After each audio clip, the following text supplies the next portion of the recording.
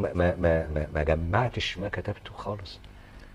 كنت أجمع قديما وبعدين لما ابتديت في حياة الرهبنة تقريبا تخلصت من القديم كله وبدأ شعري يبقى شعرا نسكيا لكن سبقه شعر آخر نسكي وأنا حتى طالب في الجامعة وكنت أعد نفسي للحياة النسكية الرهبانية لكن ده لا يتعارض يعني. أيوه أنا عارف لكن يعني اللي حصل. لكن ما ما في ذهني هو ما احتفظت به ذاكرتي رغم أنه غير مكتوب عندي في أوراق زي الكلام ده كده. وزي مثلا مرة كتبت على الناس ال- الفقراء اللي بيعيشوا في جو فيه مليونيرات وهم مش قادرين ياكلوا. فقلت على مثل هذا الإنسان حوله الأنهار تجري وبها عذب المياه وهو صاد يتشهى قطرة تشفي صداه. جف منه الحلق لكن قد تندت مقلتاه. بح منه الصوت من قوله دوما آه يا الله. كنت أميل للشعر السهل آه. الذي يفهمه أي شخص وإن وجدت كلمة صعبة آه، أبعد عنها. يمكن القصيدة دي من القصائد القلائل اللي فيها كلمة صعبة كلمة صادي يعني عطشان وصداه يعني عطش. لكن ما كنتش لاقي كلمة غير كده. في حد من شعراء العالم العربي بيعجبك شعره؟ أنا طبعا من الذين أعجبت بشعرهم كثيرا أحمد شوقي أمير الشعراء. وأعجبت أيضا بشعراء المهجر آه. إيليا أبو ماضي أبو ماضي. وخيل نعيمة آه وأيضا فاكر وأنا في الثقافة العامة آه قريت كتاب اسمه دموع الشعراء على سعد زغلول رثاء سعد زغلول بقى الكتاب اسمه كده دموع آه. الشعراء على سعد زغلول هو رثاء زي ما حضرتك بتقول لكن بقى في شعراء من مصر ومن سوريا ومن لبنان ومن كل البلاد العربية. يعني فاكر من ضمن هذا الكلام شاعر سوري قال قالوا مصر قالوا دهت مصر دهياء فقلت لهم هل غيض النيل أم هل زلزل الهرم؟ قالوا أشد وأنهى قلت ويحكم إذا فقد مات سعد وانطوى العلم. الله. يعني شعر لطيف. وعلى ما أظن العقاد مرة قال أمض في بالأربعين لسعد غلول. أمضت بعد الرئيس الأربعون عجبا كيف إذا تمضي السنون. آه، وأفتكر لما كنت في في الثقافة العامة اللي هي زي تانية ثانوي دلوقتي أنسى أني في امتحان ال... امتحان الشفهي يعني. سألني الأستاذ أن أتلو قصيدة من محفوظاتي فقلت له لأي عصر من العصور تحب؟ قال لي أو تعرف لكل العصور؟ قلت له نعم. قال لي قل لنا قصيدة من محفوظاتك في العصر الحديث. فقلت له ولأي شاعر من شعراء العصر الحديث؟ كان مقررا علينا أربعة شعراء آه. شوقي وحافظ والبارودي وحفن ناصف. فتلوت عليه أسماء يمكن ولا عشرين شاعر من الشعراء وربما بعضهم ما سمعش عنه الأستاذ. أقول لك يعني. قال لي ولماذا تحفظ كل هذا؟ قلت له أحب الشعر. قال لي وهل تقرضه؟ يعني تنظيمه. قلت له نعم. قال لي إذا أسمعنا بعضا من محفوظاتك لنفسك. واخدت تقريبا النمرة النهائية في الامتحان. ف يعني أجيب لك مثل بسيط اللي بقول إن جايز الأستاذ ما كانش عارف القصيدة دي. أفتكر إن أنا كنت قد مررت على أحد أصدقائي ربما سنة 40 أو حاجة زي كده فوجدت عنده مجلة اسمها مجلة الشؤون الاجتماعية. وزارة الشؤون الاجتماعية فيما أفتكر اتأسست سنة 38 فعملوا مجلة اسمها مجلة الشؤون الاجتماعية. فوجدت فيها قصيدة آه، مش المهم موضوعها لأن جايز موضوعها مش كويس لكن صياغتها الشعرية في منتهى الجمال. آه. آه، رئيس التحرير كتب عليها هذه القصيدة تعتبر من أمهات الشعر وأن كانت لا تحمل سوى اسم شاعرها المتواضع فؤاد بليبل. مين عارف اسمه فؤاد بليبل مفيش حد القصيدة دي الرجل كان يصف فيها امرأة خاطئة. في ذلك الحين كان يوجد بغاء في مصر. يعني النساء يبيعن أجسادهن. فصياغة القصيدة في منتهى الجمال. أولها قال أسألت من نبذوك نبذ المنكر كم بينهم من فاجر متستر. أسألت من نبذوك نبذ المنكر كم بينهم من فاجر متستر. الصائمون المفطرون على الدماء الظامئون إلى النجيع الأحمر. من كل عاد في ملابس عادل أو مجرم يزهى بلبدة حيدري. حيدري كناية عن الإمام علي بن أبي طالب. وبعدين قال لله بائعة بمنعرج الحمى. عرضت بضاعتها على من يشتري. وقفت تساومني وفي لمحاتها ذل الوضيع وثورة المتكبر. ووقفت مضطرب الفؤاد حيالها حيران بين تقدم وتأخر. في غرفة حمراء تحسب أنها قد درجت بدم العفاف المهدر. الله. لطيف أوي. قوي لغاية لما قال في آخرها قال ودعوك بائعة الأثيم من الهوى. كذبوا فإن الذنب ذنب المشتري. يا قصيدة جميلة. قوي أنا أحتفظ بهذه الأبيات وب- وبعض أبيات أخرى في ذاكرتي من سنة 40 والاسم الشعر ده مجهول يعني. اسمه فؤاد بليبل ما نعرفش حاجة آه عنه طبعا مين يعرفه؟ ابدا. ف... لكن القصيدة قوية. قوي. ووزنها قوي وألفاظها و... و- صح. وخيالها قوي. آه، كنت أقرأ الشعر كثيرا جدا ولكن يلصق بذهني الذي أعجب به من الأبيات والباقي أنسى ولصق بذهني الكثير. يعني فاكر في مستوى الثقافة أو التوجيهية في الثانوي كنت أحفظ تقريبا ولا عشرة آلاف بيت شعر. آه، كتاب مصرع كليوباترا لأحمد شوقي كنت تقريبا أحفظ أجزاء كثيرة جدا جدا منه. من أول يومنا في إكتيوما ذكره في الأرض ثار اسألوا أسطول روما كم أذقناه الدمار إلى آخره. ومجنون ليلى. ومجنون ليلى أحفظ أبيات منه. العامية حضرتك بتحبها ولا عشقك للغة العربية ما بيخليكش تتذوق ال- لا لا لا إزاي؟ الشعر العامي يعني؟ الشعر العامي أيضا كنت أعرفه جيدا وكنت أنظم فيه بالعامية.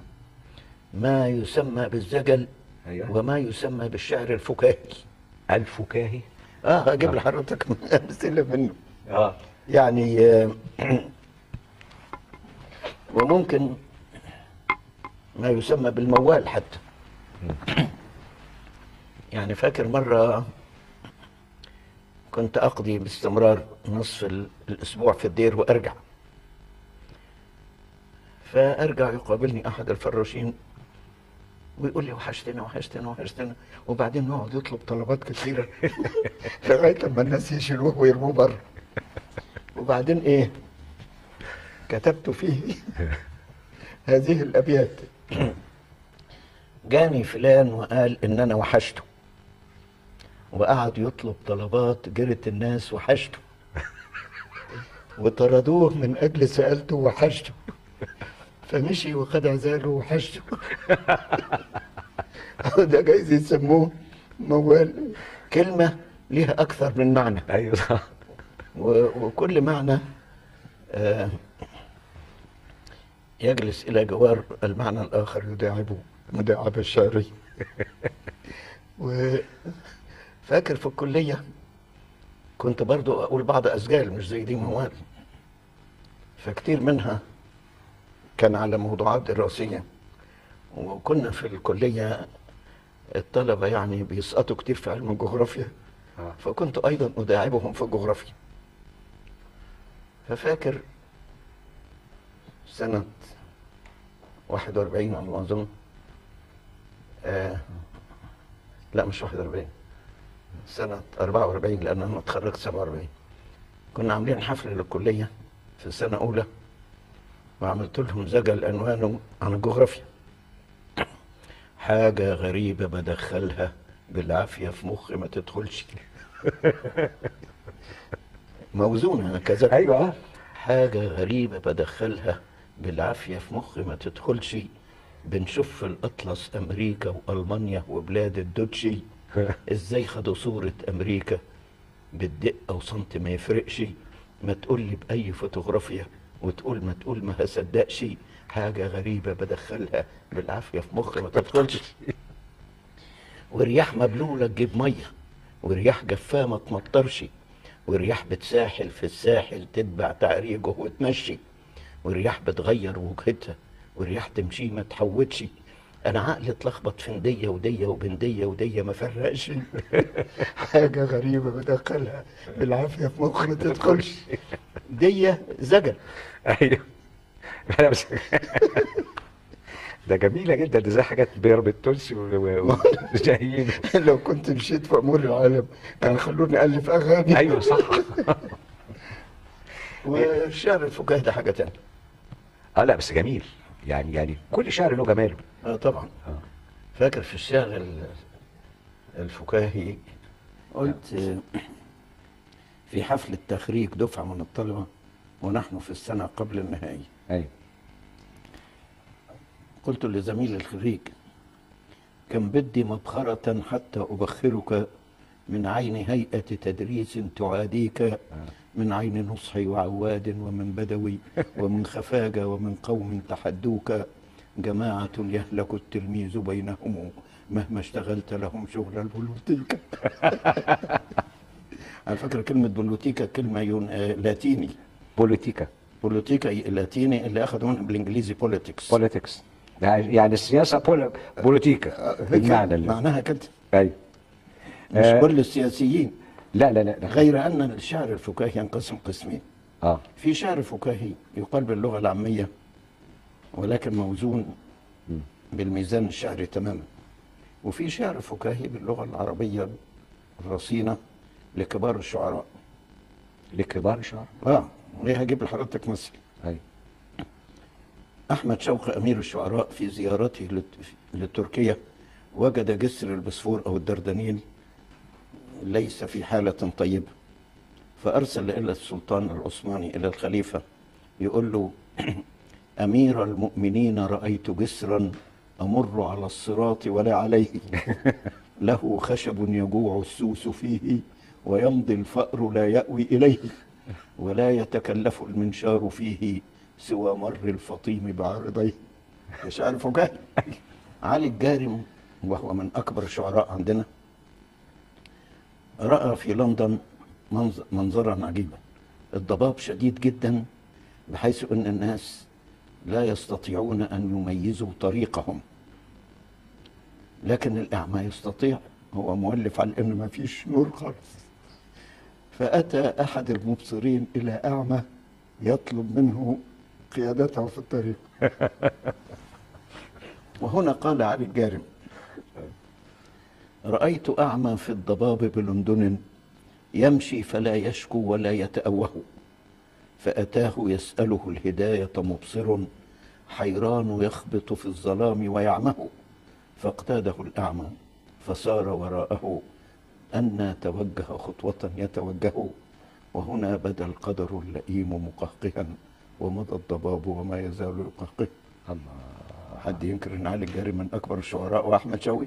لا. لكن بيقول شعر فكاهي برضه. أيوه أيوه أيوه وقت اللزوم.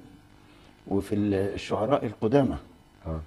مرة شاعر من الشعراء كان يهجو شخصا آخر له بغلة. حالتها متعثرة. متعثرة زي بتوع البنوك يعني. أيوه متعثرة. أيوة. فقال له إيه؟ لك يا صديقي بغلة ليست تساوي خردلة. تمشي فتحسبها العيون على الطريق مشكلة وتخال مدبرة إذا ما أقبلت مستعجلة. مقدار خطوتها الطويلة حين تسرع أنملة أشبهتها بل أشبهتك كأن بينكما صلة. تحكي صفاتك في الثقالة والمهانة والبلاء يعني برضو في شعراء آه.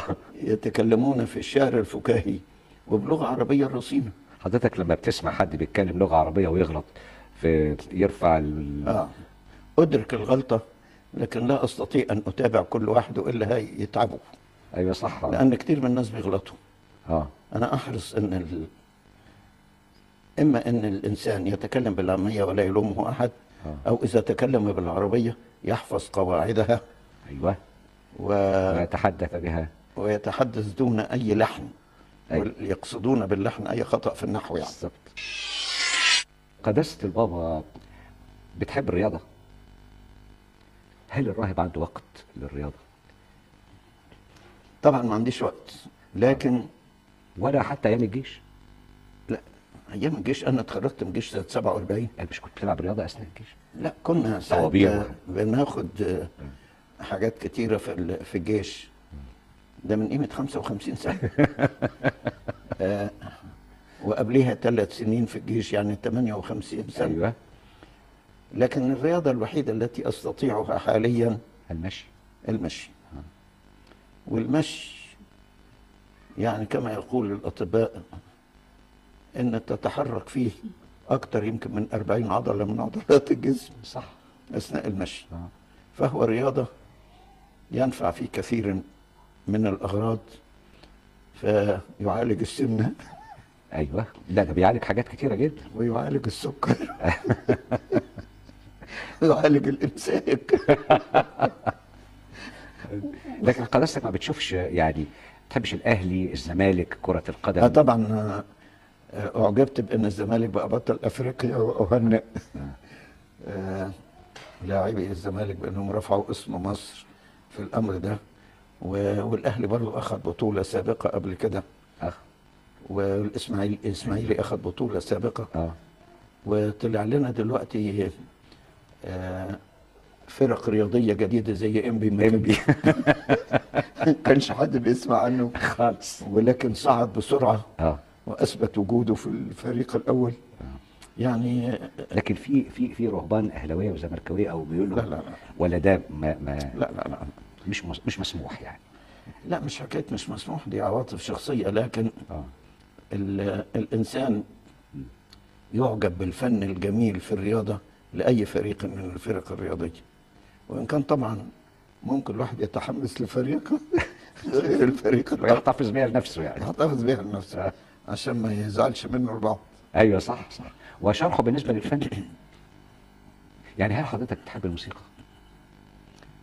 أحب الموسيقى لكن الموسيقى الكنسية عندنا آه. أعمق بكثير جدا من الموسيقى العادية في ال...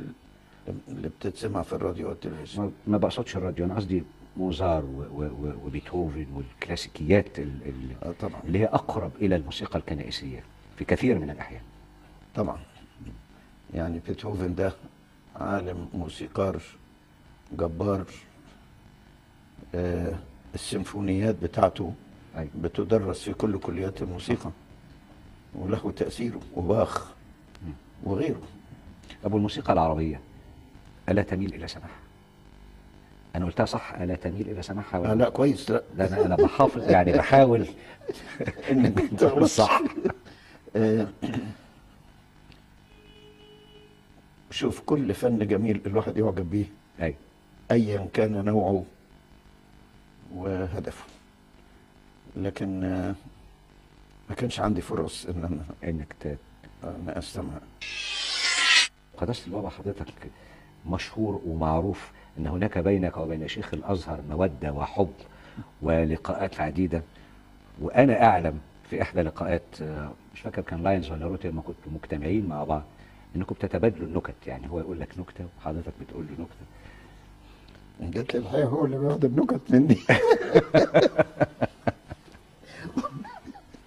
فاكر أنا صداقتي بفضيلة شيخ الأزهر ترجع إلى أيام أن كان المفتي. آه. فعلاقتنا من ساعة ما كان هو المفتي.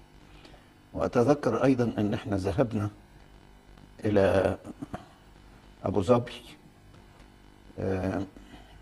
في مؤتمر عن القدس وكان هو المفتي ساعات وبعدين آه، لما صار شيخ الأزهر ذهبت طبعا لأهنئه ده صديق. فكان هناك التلفزيون بيسجل الزيارة البابا بيقابل شيخ الأزهر طبعا زيارة مهمة. فهو وقف وقال كلمة كويسة جدا وانصرف بتوع التلفزيون. فأول ما انصرفوا قال لي سيبك انت من الحاجات دي قول لي آخر نكتة على اليهود. وقلتها له. وقلتها له. كانت إيه طيب؟ نسمعها آه النكتة اللي هو انبسط بيها. آه كان اجتمع شيخ مسلم وقسيس مسيحي وراباي يهودي. وكل منهم اشترك في حديث حول ما تصله من أموال. كيف يفرق بين ما يخصه شخصيا وبين ما يخص الله؟ فالمسلم قال أنا أمسك العملة في إيدي في وجه الصورة وفي وجه الآخر الكتابه أيوه. وألقيها إلى فوق. فإذا وقعت على الصورة تبقى بتاعت ربنا وقعت على الكتابه يبقى مكتوب لي إن أنا اخدها والمسيحي قال أنا بعمل دايرتين جوه بعض وأرمي العمله لفوق. فإذا نزلت على الدائرة الداخلية تبقى بتاعتي على النمقى الخارجية تبقى بتاعت ربنا. واليهودي قالوا له أنت بتعمل إيه؟ قال لهم أنا رجل سلمت نفسي لله تمام التسليم ليست لي إرادة شخصية على الإطلاق.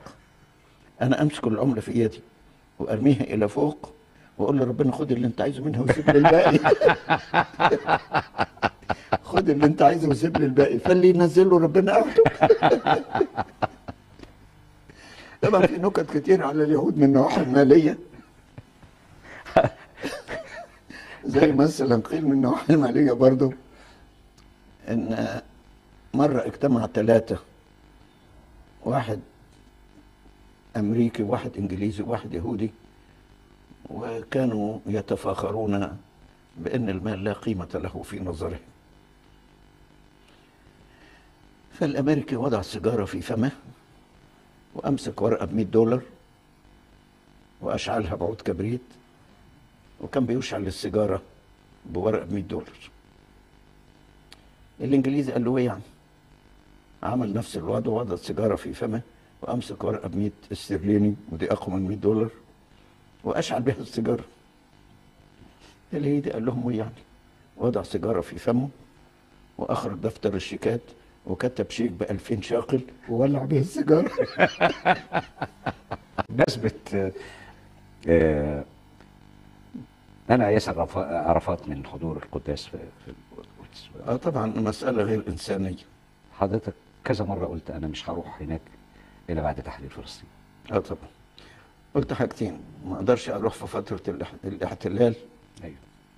وأعطي باسبوري للسفير الإسرائيلي عشان يوافق أو لا يوافق. الله الله. وتاني حاجة آه. إذا ذهبت إلى هناك أذهب مع اخوتي المسلمين. يا سلام. ولا أذهب وحدي. صح. وطبعا في كتير من الاباط حرموا من الذهاب إلى هناك لأني منعتهم رسميا بقرار و وقد وجهت إلي انتقادات في ذلك الوقت ولكن أثبتت الأيام أن هذا القرار كان سليما جدا. آه، قداسة البابا أنا عارف إنك حضرتك آه، قارئ للقرآن الكريم وهناك كثير من ال- الصور حضرتك شفت فيها العلاقة الوثيقة ما بين الإسلام والمسيحية أو المسيحية والإسلام. صح. آه،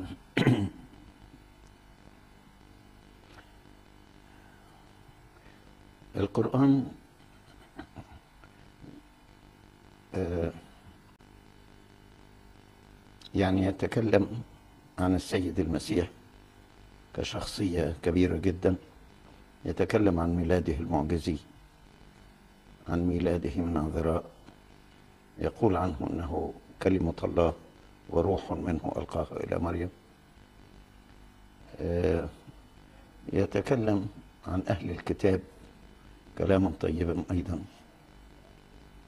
ومن أهل الكتاب أمة قائمة يتلون آيات الكتاب إناء الليل وهم يسجدون. ويقول عن المسيح وجعلنا في قلوب الذين اتبعوه رأفة ورحمة. ومعروف الآيات التي تقارن بين موقف الإسلام من اليهود ومن المسيحيين بأن أشد الناس عداوة للذين آمنوا اليهود والذين أشركوا ولا تجدن أقربهم مودة للذين آمنوا. النصارى ذلك لأن منهم قسيسين ورهبانا وأنهم لا يستكبرون. فإلى جوار المحبة بالنسبة لأهل الكتاب والمسيحيين بالذات جعل اليهود والذين أشركوا في ناحية وجعل النصارى في ناحية أخرى مميزا النصارى عن المشركين. والقرآن يتكلم عن السيدة العذراء كلاما طيبا ويقول إن الله فضلها على نساء العالمين. وكلام كتير طبعا في النواحي دي ليس الآن مجاله. وقرأت قرأت حضرتك القرآن. طبعا من زمان من, وأنا في ثانوي حتى وفي الجامعة. و طبعا لا ننسى إن في التعليم الثانوي كان كان من المقرر علينا بعض آيات من القرآن. لكن المقصود طبعا القراءة الاختيارية. بالظبط الواحد يقراها بنفسه. صح صح. وما فيش شك إن القرآن يعطي الوضع المثالي للغة العربية. في فصاحتها وفي نقاوتها وفي بعدها عن الأعجمية. قداسة البابا أدب. المصري الحديث. طه حسين العقاد آه، نجيب محفوظ آه، يوسف السباعي إحسان كل هؤلاء. في حد مميز عند حضرتك؟ في حد تحرص على أو قرأت له كتبه؟ أعجب كثيرا بشعر أحمد شوقي. الشعر. الشعر آه. آه أنا قصدي لكن مؤلفات نجيب محفوظ هرجع ليك تاني. وأيضا بشعر حافظ. مم. وكنت قديما أميل إلى حافظ إبراهيم ولكن بعد أن قرأت شوقي كثيرا عرفت أن شوقي أقوى. وعرفت أيضا بأن الرجلين كانا صديقين. وكان يجلسان في كثير من الأوقات يتبادلان الشعر. ويقال من باب الفكاهة يعني. إيه. إن شوقي كان غنيا وحافظ إبراهيم كان فقيرا آه. فكانوا لما يقعدوا على كازينو ولا حاجة. يتبادلوا الشعر كان اللي يدفع الحساب شوقي. ففي مرة أراد شوقي أن يداعب حافظ إبراهيم. فلما جه الوقت اللي يدفع فيها الحساب جه الجرسون يطلب الحساب أيوه. تشاغل قليلا. فحافظ إبراهيم قال له ما رأيك يا شوقي بيه في البيت الآتي؟ يقولون إن الشوق نار ولوعة فما بال شوق اليوم أصبح باردا قال أنا بارد ولا حاجة ادفع لك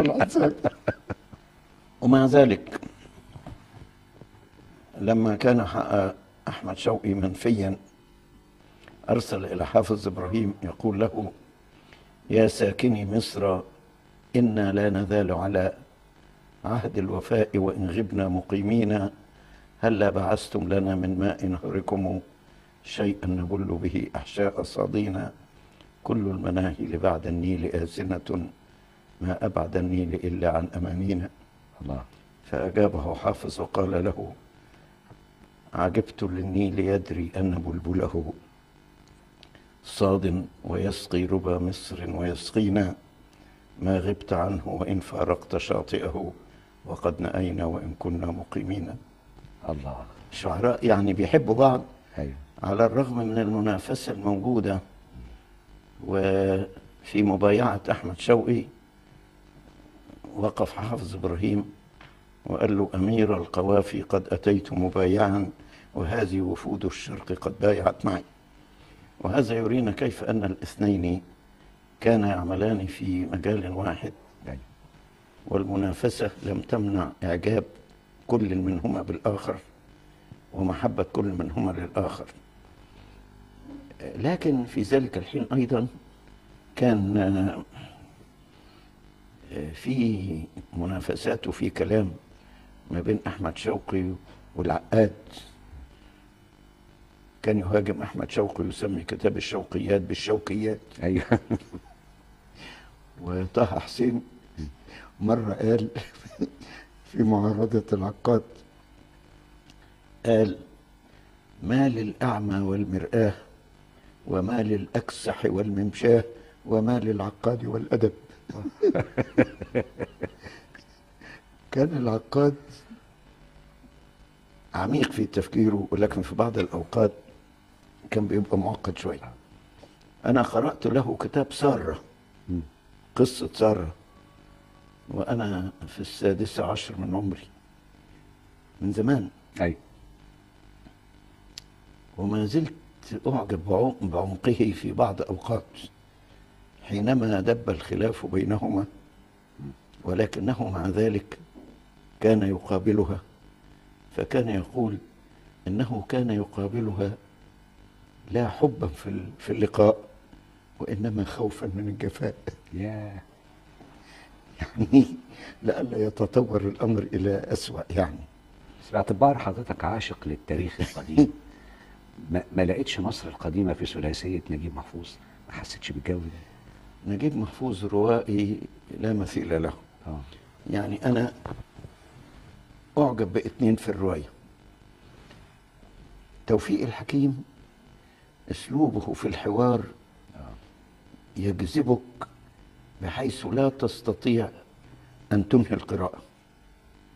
يعني تمسك بالكتاب فإذا الكتاب قد أمسك بك حتى تنتهي من قراءته صح. قريت له غالبية كتبه لدرجة أن أصبح عندي له من مجموعاته يعني تقريبا ثلاث نسخ نسخة في القاهرة ونسخة في الدير ونسخة في الإسكندرية. لأني أعجب بتوفيق الحكيم. لكن توفيق الحكيم خفيف في حواره ويمشي بسرعة. آه نجيب محفوظ يقدم الحياة في القصة. فترى في قصته حياة وترى في قصته أحيانا رموزا وله عم له عمق. وحسنا أنه حصل على جائزة نوبل. وأنا ذهبت وهنأته وهو زارني وزرت وهنيته آه، لأنه يعني رجل من رجال الأدب في مصر. طبعا. والرجال قليل. آه، قداسة البابا بمناسبة العيد في أي أكلة معينة قداستك بتحبها تحرص عليها؟ دلوقتي وزمان يعني زمان أيام ما كانت المسائل تستوعب ما كانش في آه، لا طبعا أنا دربت نفسي. على الصيام؟ لا لا لا لا. هو بناكل أكل فطاري في في العيد. ولكن آه، دربت نفسي إني لا أشتهي شيئا من الأطعمة. وما يوضع أمامي آ- أكله. و يعني لا يليق بنا كرهبان إن إحنا نشتهي شيئا صح. أو نطلب شيئا يطبخ بطريقة معينة. ليه بقى؟ لكن ممكن ترفض شيئا. ممكن طبعا الواحد ما ياكلش آه، ضد نفسه. المفروض الصيام فترة ضبط للنفس. أيوه. فكيف يضبط الإنسان نفسه فترة طويلة من. من الأيام؟ ثم يأتي يوم الإفطار فيحطم كل- كل الضبط القديم. ويبقى كأنه لم يستفد شيئا. صح. ف يعني الذين يقدمون الأكل يقدمون أطعمة متنوعة والإنسان يأكل منها ما يريد وما ينفعه خصوصا أن إحنا كلما نكبر في السن تكون هناك أطعمة غير- ممنوعة. آه لا توافق الصحة إطلاقا. صح صح صح. يعني مثلا أكل اللحوم عموما بعد سن الستين غير نافع للصحة يقال بعد الأربعين أنا خايف ينزلوا شوية بشوية أيوة، أيوة، لغاية أيوة. ما ياكلوش وأصبحت الإنسان تضبطه قواعد من الكوليسترول ومن السكر. ومن الضغط و... معزوفة معروفة لدينا وأصبح ليس في حريته في الأكل فالأطباء آه. يعني. يعني يحدون حريته. يعني في, في القديم كان الإنسان الدين يحد حريته في الطعام. دلوقتي الأطباء هم اللي هم اللي يحدون الحرية. صح. آه يعني الحديث مع قداسة البابا مش فقط ممتع يعني يعني يعني الواحد ممكن يسترسل فيه إلى حلقات وحلقات وحلقات إنما أنا أرجع تاني وأقول أمنيات قداسة البابا لا عام 2003 إيه؟ طبعا الأمنية التي يفكر فيها الكل هي السلام وده له تفاصيل كثيرة جدا يعني. وخصوصا في العراق وفلسطين نمرة اتنين بالنسبة لمصر في الداخل البطالة. يعني أمنيتي أن يوجد علاج حاسم للبطالة وقد سرني كثيرا وقرأت في بعض الجرائد أن في خطة لتشغيل 500 ألف في العام. أرجو أن يكون هذا ممكنا يعني عمليا. لأن البطالة إلى جوار أنها تصيب الخريجين بالإحباط أن بعد السنوات طويلة من الدراسة والتفرغ للعلم لا يجد وظيفة. أيوة يعني في بعض حاملي الشهاد الشهادات الجامعية بيشتغلوا كعمال. صح. نمرة اتنين في البطالة أنها تسبب أزمة زواج أيوة فلكي يستطيع الشاب أنه يكون عائلة وبيت يحتاج أن يكون له وظيفة صح. ومرتب ويقدم شبكة أو مهرا ويكون بيت وشقة للسكنة وأثاث كل ده يكلف كتير. أيوة فالبطالة بتمنعه. فيبقى أول أمنية السلام بالنسبة للعالم وتاني أمنية أن تنتهي البطالة. والبطالة دي كما هي موجودة في مصر موجودة في في بلاد الخارج أيضا. كل. آه. يعني في أمريكا بيصرفوا مرتبات حاجة يسموها unemployment أيوة للناس اللي مش لاقيين وظيفة. أيوة آه.